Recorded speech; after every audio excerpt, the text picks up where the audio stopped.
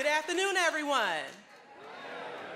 How's everybody feeling this afternoon? Yes, I'm so glad to hear that. Uh, it is a pleasure and an honor to be standing here with you this afternoon and to be in attendance and to be speaking for my now seventh American, sixth American Atheist Convention.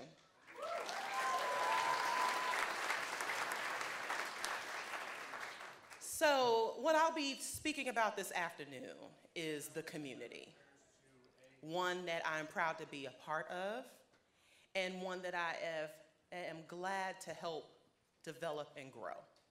But there are some who say that this community is dead or that it's dying. Yes, boo. now, if you are familiar with the online arena in any way, social media, as atheists, uh, we don't all have the same views on everything. We certainly have differences of opinions and certainly differences on ways that we handle things.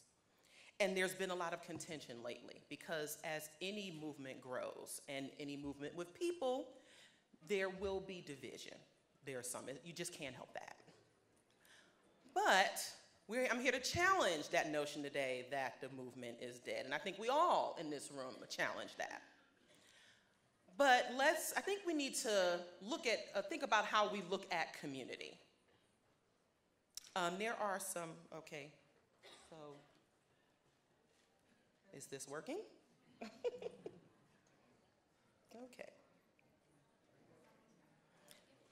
So, um, okay, so when we think of community, let, let's think about what we think of. We think of people who are, who live close to each other, people who are within the same proximity, which is, there's, that, that is absolutely correct.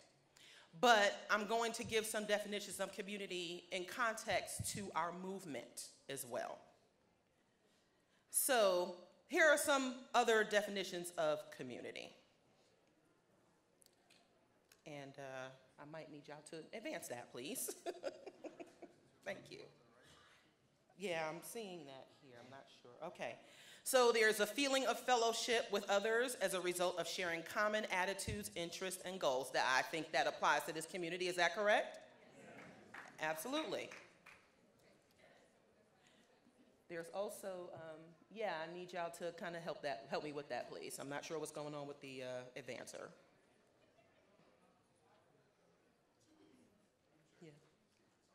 Okay. But yes, certainly, almost all of us in this room have, to, how many people feel that sense of fellowship here at this convention? Can we please uh, give ourselves a round of applause for that? And I commend American Atheists for that, for the wonderful job that they have done with developing that sense of fellowship, particularly at the conventions, because it says a lot. Okay. Yes, okay. So there's a similarity or identity. We certainly share that here as atheists, or most of us do. Yes. And joint ownership or liability, meaning that we come together, we own the communities and also accept responsibility for them. So in looking at communities and how we build it, these are certainly some uh, principles that we, there are good foundations on that. Now, just going back a little bit, I remember when I first became involved in the community, you can count on one hand how many black folks you saw at conventions. There was certainly not that many women in attendance. There was certainly not that many Latinas or Latinos in attendance at conventions. And there certainly were only a few organizations that represented the atheist slash secular community. But now, now look, this is just a small view of what we look like. You have American atheists, you have black nonbelievers, you have Camp Quest, you have Hispanic American freethinkers, you have ex Muslims of North America, you have the American Humanist Association, you have the Secular Student Alliance, you have Recovering from Religion, and yes, even the, the, the, satanic, the Satanic Temple. Look at the number of organizations that now represent the community. And some of us, many of us work with each other. Again, I am proud to serve on the board for American Atheists. I'm also a volunteer with Recovering from Religion. So we do intersect.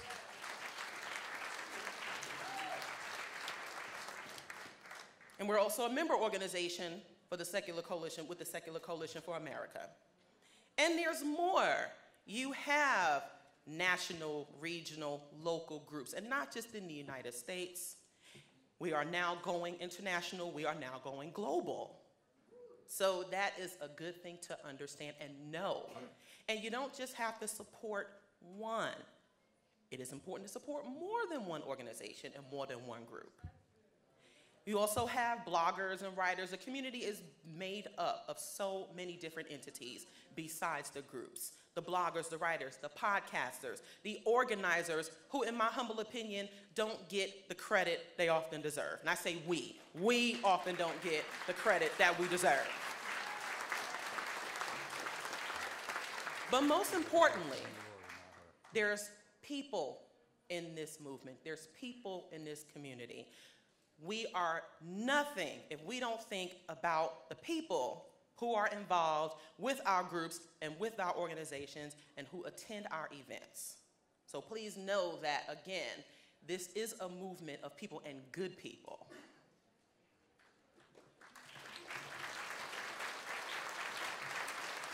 So you know the saying, there's no I in team. there is an I in community. but it is all about we. And sometimes, as a community, as atheists, as humanists, or however we want to identify, sometimes we help the homeless, like our group, our affiliate group in Charlotte does.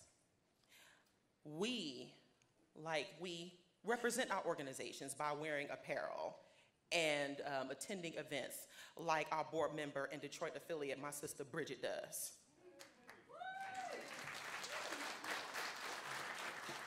We host various events, including supportive ones, especially around the holidays when we are ostracized and we don't feel like being around those religious family members and friends. Our allies and our non, our non-black allies in particular represent us and wear our merchandise and tell about our organization like SciBabe does.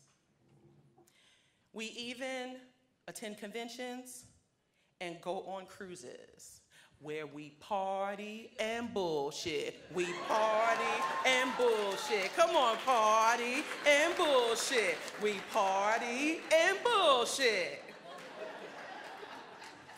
But at the end of the day, we even change lives. And this is unfortunately our Milwaukee, our late Milwaukee affiliate organizer who passed away suddenly in February. Um, we were proud to have him represent our organization. But he was a prime example of how our organization have pe and people who have encountered us have told us that we have changed and even saved their lives.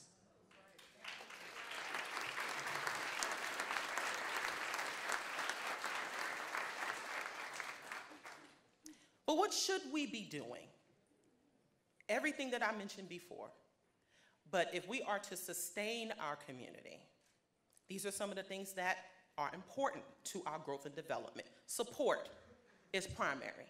Many of our organizations support fellow atheists who are either still in the closet or and they feel ostracized. They are often the only ones in their area. They may even uh, face challenges and even bullying from believers. We should be offering resources as well. Resources isn't just about finances. It's also, again, about, uh, it's about networking. It's also about connections. So there are a number of ways to look at what resources are. Information is also more important. Opportunities, paid and volunteer. That's a big one. But um, there are many opportunities in this movement, in this community, to get involved um, with a number of humanitarian initiatives. And um, it's good, I've mentioned networking, but um, they are often out there. Sometimes you may have to find it and look for it, but it's important to know that they are out there. And also, we should, again, be having fun. What good is being involved in a movement if we aren't enjoying what we're doing or aren't enjoying being a part of it? That is a huge part of, of this community and what we should be doing. But here are some important things that we must remember. In the development of, in the continuing development of our community, as we encounter new atheists, as we encounter even old atheists who find us, and as we are and we as we rethink what we're looking to get out of this community, here are some important things to remember. That we are still growing, and you may need to create what isn't already there. There was not a good concentrated effort to help bring out more black atheists on the ground. So, guess what? We had to build it.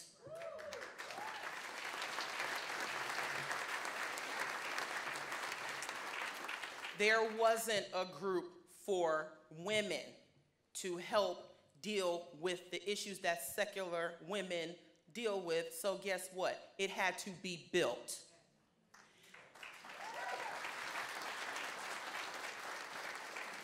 There was a movement, there was a need for more student engagement and interaction. So, guess what? It needed to be built. there wasn't a movement for ex Muslims years ago, so it had to be built. So instead of looking around for someone else to do it, guess who it will have to be up to? You. And it is up to who else needs to support it? You do. that is what this community should be about taking responsibility and accountability and initiative. Every group or community isn't for everyone. Know the difference between lead and supporting roles. I'm to get real for a moment. Every group or community isn't for everyone. Know the difference between lead and supporting roles. There will be times where there are certain folks who will just have to shut up and listen. Listen to the people who are actually doing the work. Listen to the folks who are coming from marginalized communities and communities who have a harder time coming out as atheists. And listen to the work that we're doing. Listen to why. Understand and know it. And don't just overtalk us. Also, within your own communities, if there, there's still a lot of baggage that many atheists and non-believers need to unlearn in coming from religious communities. Some that include patriarchy and misogyny. So if there are women speaking, you need to shut up and listen.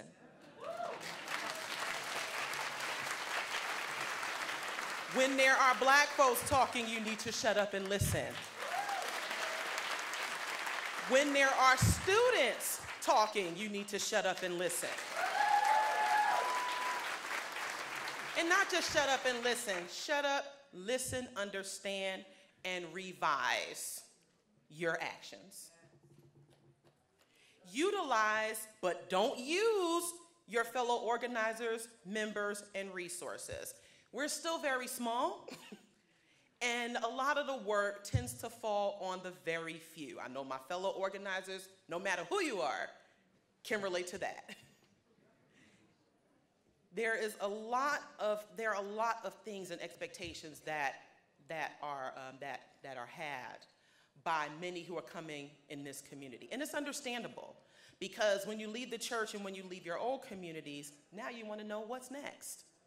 What can this community do for me? Again, though, because we are still growing, it will be up to us to continue to work together utilize us but don't use us. And that's, and that's also, there's also a responsibility for organizers to not overuse volunteers because then what happens? You get burned out, which does, which does happen. Be genuine, dedicated, and sufficient. Being sufficient, I cannot stress that enough because there are many people who want to get involved. There are many who are, you know, they're anxious and they're excited, but the work really comes once the lights go down. It is often very, it is often not glamorous. It can be tedious, and sometimes it can be hard and long. But being consistent and actually caring about this work and about the work that people are doing is important. It cannot just be the, the racial aspect and also the all of the aspects here cannot just be one-time conversations. They also cannot be one-time actions. They must be consistent, and it takes dedication, it takes time, and it takes everything and, and everything that I've mentioned before to help continue to build it. But guess what? If you don't come correct, you will be checked. I'm going to go into why I say that. I'm going to go into what I mean by that. We've had people who come into this community who only think of I. You put that I in the community, they're only thinking of themselves. They're only thinking of what they can get out of it and what they, what they want from it and what they can get out of it. And we've had some tricksters come in here into this community and try to make their way and build their way up. Unfortunately, those types of people are very patternistic. And guess what? We're still a small community. We talk, especially amongst the organizers. And in, and in letting go and unraveling that religious, religious baggage, certainly we're a community of thinkers and skeptics. So guess what? You can't just tell us anything and then think it's gonna fly. that just doesn't work. So if you are displaying or you're exhibiting a certain type of behavior and you're trying to move up in this movement, guess what? After a while, you're gonna get put, you, you, you'll get caught out there. Someone will see you for who you are and they will, as we say, put you on blast. or, and it's unfortunate because as organizers, uh, there are there are certain information and there's certain actions that we become privy to that is extremely unfortunate because we want to help everyone, right? We do. But unfortunately, that isn't the case. Remember the bye bitch from last year? Whoever was in attendance last year at my talk. Sometimes you have to say that. You know, and it's unfortunate because in this movement, again, there will have to be it's ownership and liability. And sometimes we have to own the liabilities and let and, and, and also figure out when to let them go. But sometimes people will show themselves out. Because after a while, you can't get away. You can't get away with that forever. But as Victor said earlier, um, how many of you knew, how many of you thought that this was my full time? Um, this was my full time gig. The activism was full time. So, in addition to developing black non believers over the past seven years, in addition to being a wife, being a mother of three, and running this organization, I was working a full time job. And March 28th was my last day of work.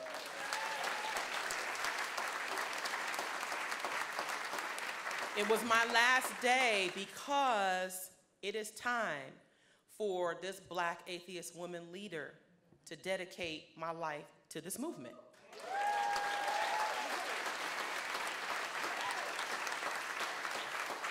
But this cannot happen without you. So if you take a look at the link above my lovely picture, below my lovely picture, excuse me, um, I've created a Patreon, and I will be taking on Black Nonbelievers full time. Uh, the Patreon will consist of community building content. It will also consist of my upcoming appearances, upcoming events, as well as some very, very unfiltered thoughts that I have which will be a lot of fun. For those of you who aren't familiar with me, I am very, very uh, big on, again, people. I'm also very big on the rights of LGBT, of the marginalized communities. Very sex positive, very sexual liberation. This is all very important to the growth of this community. And it is up to all of us to help keep it. I have made it my mission to help keep this movement alive. Everyone here in this room is proof that this movement is alive. It isn't dead at all. When we fight with each other, that's how we show we're alive. when we fight for each other, that's how we know we're alive. There are, we will go through growing pains, and that is okay. Growth sometimes is hard and it is painful, but it's when you learn from it. And how we learn from it is what distinguishes us from the religious community. We come out better and we come out stronger. We come out more logical.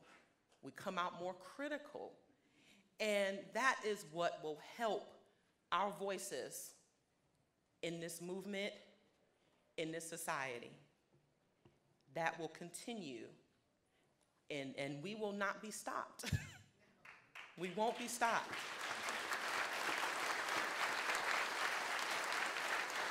And again, there's no one way to do it. It may start small, but again, it's growing.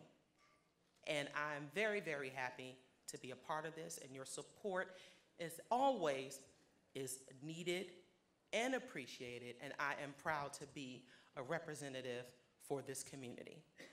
Thank you.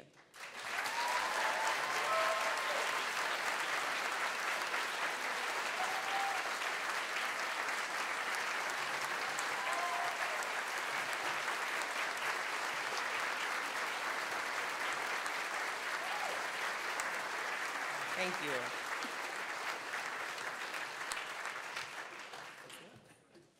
Um, I, I, I was told that there's time for Q&A. So if you have any questions, yes.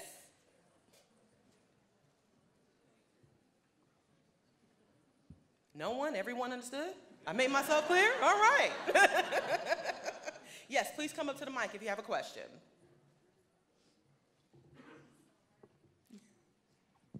Will you just clarify sit down and shut up? Exactly. I mean, you know, I know you don't mean that in a hostile way, but what would you see that as being? Yes. So, as a community, we pride ourselves on our intellectual capability, what we know, how smart we are.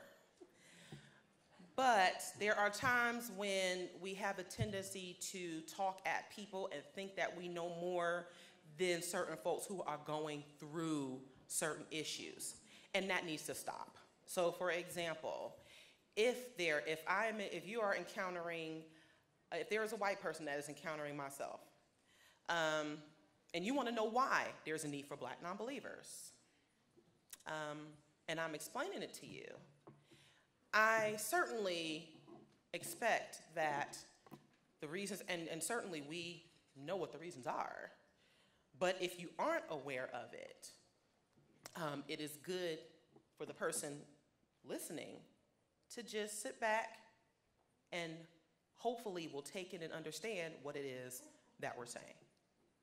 So that's what I mean by shut up and listen. And also, if someone is expressing a problem, um, the worst thing you can do is be dismissive. Don't dismiss anyone's problems or anyone's concerns there is also another, that's another example of shutting up and listen, uh, shutting up and listening. Yes. I uh, recently, in the past few years, had individuals, black uh, individuals, that came to me in uh, extreme privacy, explaining their questioning of their belief or that they are non-believers. And uh, in that period, I, I, found I was having to counsel them. Mm -hmm. Could you explain to the audience the, uh, the extra problems that the black person who is an atheist has to deal with in their own world or their own family and the things they have to overcome to, to be the atheist. So not only are we dealing with the demographic um, issue, we're also dealing with historic and traditional issues within the black community. How many of you know the statistics of how many black folks are religious? Most recently, it was 87%. 87%, according to the new Pew Research statistics. And there are, the, the reasons for that, again, are traditional, they're cultural, um, which is one of the reasons why, even though the number is growing, even though it's more than a handful now, there's still a very small percentage of black atheists that are in this room. There are more online, but when you come out as black and atheist, or when you openly identify, I will give an example. There was a woman who a couple of years ago told me that she did not, she couldn't believe that as a black woman, I had the nerve to identify as an atheist, for one, in front of these white devils. so again, to um, what's, yes, it's funny, but also think about it for a moment. When you are a person, when, when you are a person from a marginalized community as the black community, you are seen as rejecting your race. So there are other added, other added issues as to um, coming out or identifying as someone who is black. So um, yes, and and also too, there is the if you're you aren't familiar with Black church culture, you know you you might want to take a look. It's very emotional, very entertaining, but also it is interwoven into the politics and almost every aspect of the Black community. So we have an uphill battle here. And again, but that's another reason why I have decided to dedicate my time to this work because the visibility and the representation and the support is important. It needs to increase, it needs to happen.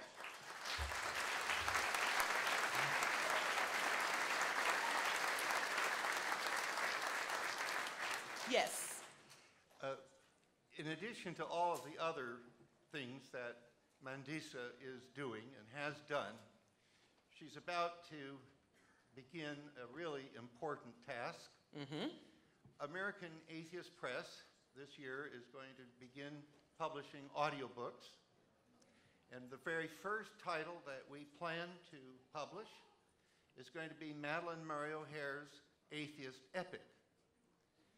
Guess who the voice of Madalyn Murray O'Hair is going to be in the 21st century?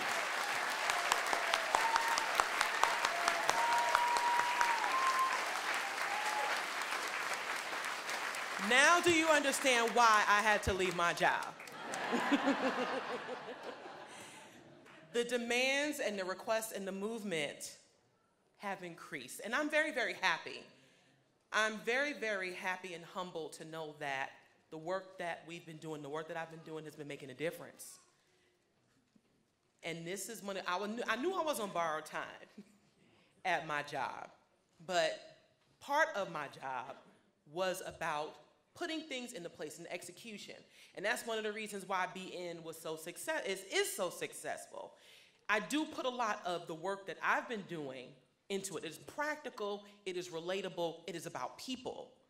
So just understand that about me. If you didn't already, now you really do know.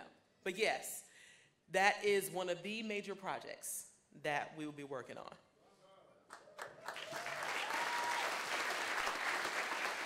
and I'll be keeping you updated. Also, um, if there are, my information is out front. I appreciate that, uh, again, the platform that I have been given, my organization has been given. But now I'll be available a lot more. so if you would like for me to appear, to come to speak to your group, let me know. I am here. Thank you.